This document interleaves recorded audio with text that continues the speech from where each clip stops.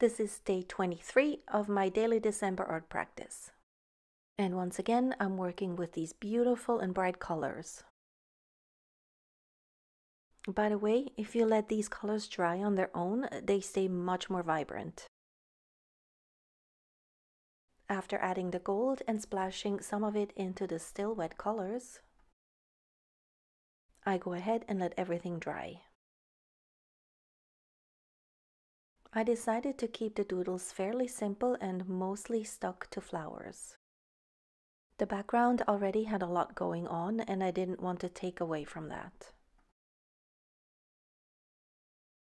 I added some more leaves, lines and dots to finish. I really love how this one turned out. Those daisies are a vibe. I'll see you tomorrow for the last short of this series.